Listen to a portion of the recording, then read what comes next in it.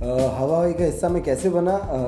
दीपा भाटिया हमारी एडिटर और प्रोड्यूसर हैं फ़िल्म की। और वो बॉम्बे टॉकीज़ भी एडिट कर रही थी। And she happens to be Amol sir wife तो उन्होंने बॉम्बे टॉकीज़ देखने के बाद मेरा नाम रिकमेंड किया। अमोल सर लड़का ढूंढ रहे थे।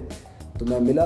उन्होंने कहा, एक लुक टेस्ट करते हैं। मैंने कहा, सर, बिल्कुल करिए। एक्टर हूँ, क्यों नहीं करूँगा लुक टेस्ट लुक टेस्ट किया। उनको पसंद आया। उन्होंने फ़िल्म मुझे ले लिया फ़िल्म। मेरा कैरेक्टर का नाम है Lucky Bhargava I play a young skating coach in the film मेरी एक छोटी अकेडमी है बॉम्बे में, जहाँ मेरे पास बहुत बच्चे आते हैं, मैं उनको स्केटिंग सिखाता हूँ। बचपन में जब मैं छोटा था तो 10-12 साल का था, तब मैं भी एक स्केटिंग चैम्पियन चैम्पियन था अपनी लाइफ में। बट मेरी लाइफ में कुछ सर्कमस्टांसेस ऐसे आते हैं कि मैं अपना पैशन फॉलो नहीं कर पाता हूँ। सो आई कम बैक और मैं इन बच्चों में शायद कहीं अपने आप को ढूँढने की कोशिश कर रहा हूँ।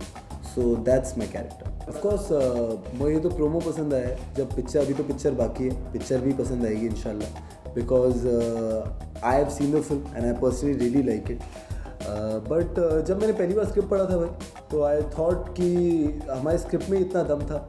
अगर uh, उसको अमोल सर स्क्रिप्ट लेवल पे ही जितनी है उतनी बना दे तो बहुत अच्छी बनेगी। But the guy he is the vision he has and what the treatment he is given it the film become much more better than था यार अगर वैसा कंपैरिजन हो जाए मैं तो खुश हूँ मुझे क्या टेंशन है? आई एम दिस मैं मुझे चार फ़िल्में हुई नहीं इंडस्ट्री में and I am being compare to a great तो मेरे लिए उससे बड़ी खुशी की बात कोई नहीं हो सकती। बट uh, मैंने किसी से इंस्पायर होकर कैरेक्टर नहीं किया।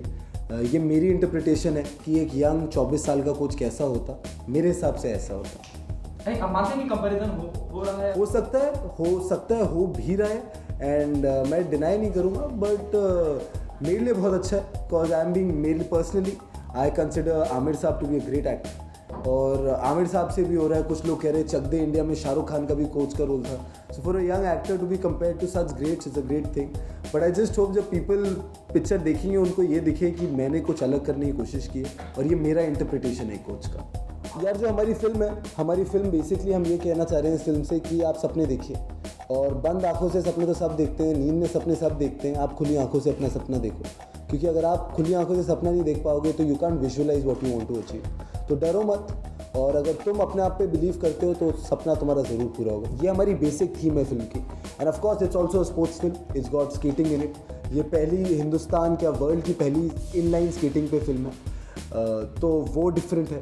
पर ultimately it's an underdog story और I think we Indians and people all over the world connect with underdogs कि एक जो एक अंडरडॉग की विक्ट्री होती है चाहे वो आप जो जीता वो सिकंदर ले लीजिए उसमें जब वो संजू रेस जीतता है एंड में तो वो आपकी एक सेंस ऑफ़ फीलिंग होती है। सो so, हमेशा ऑडियंस से ज़रूर कनेक्ट करती है एक अंडरडॉग स्टोरी से। यार अमोल साहब की सबसे अच्छी बात ये कि वो कभी भी एक्टर की स्पेस में इंटरफेयर नहीं करते। वो हमेशा चाहते हैं चाहे वो बच्चा हो चाहे वो बड़ा हो वो एक अपनी इंटरप्रिटेशन लेके आए।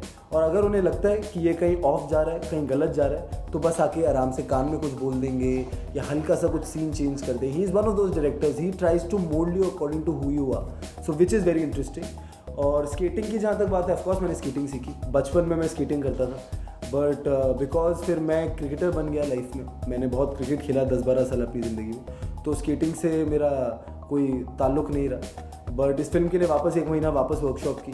बट मोर देन स्केटिंग यार, मुझे जो सबसे चीज़ इंपॉर्टेंट थी मेरे लिए was to understand the sport because अगर मैं कोच प्ले कर रहा हूँ तो मुझे स्पोर्ट के बारे में हर चीज़ पता होनी चाहिए। बिकॉज़ अमूल सर का एक बड़ा इंटरेस्टिंग तरीका है काम करने का, उनके पास एक बाउंड स्क्रिप्ट है, उनके पास डायलॉग सारे रेडी हैं बट जब वो ऑन फ्लोर जाते हैं बच्चों को बस सीन समझाते हैं। So the kid can ask me anything and वो मेरी तरफ़ देख रहा है उन आँखों से कि मैं उसका कोच हूँ और मुझे उसको बताना है, उसको जवाब देना है। सो so वो कुछ भी पूछ सकता है। तो मुझे अपनी तैयारी पूरी करनी है।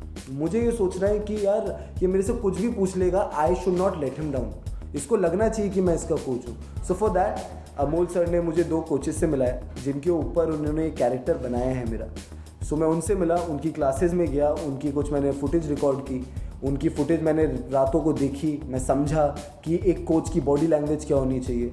और फिर एक अपना थोड़ा मसाला डाला, थोड़ा अमूल सर से लिया और बना दिया यार, क्या टेंशन आई हैव बिन मतलब हेयरिंग ग्रेट थिंग्स यार। जिनसे भी मिला हूँ, चाहे वो प्रोड्यूसर्स हैं डायरेक्टर्स हैं, लोगों ने ट्विटर पे बहुत प्यार दिया है, लोगों ने मैसेजों पे बहुत प्यार दिया है। And more than the fraternity fraternity से तो प्यार आ ही रहा है बट नॉर्मल पीपल जो मेरे पिछले पुराने दोस्त दिल्ली के कहीं यूके में कोई पढ़ाई कर रहा है, कोई कनाडा में पढ़ाई कर रहा है। I am getting messages from people saying that we almost had tears in eyes watching the trailer तो मेरे लिए एज एन एक्टर बहुत बहुत बड़ी बात है। बिकॉज़ मैं हर हर बंदे से कनेक्ट करना चाहता हूँ। मैं भी चाहता हूँ कि मेरी फ़िल्में बहुत लोग देखें।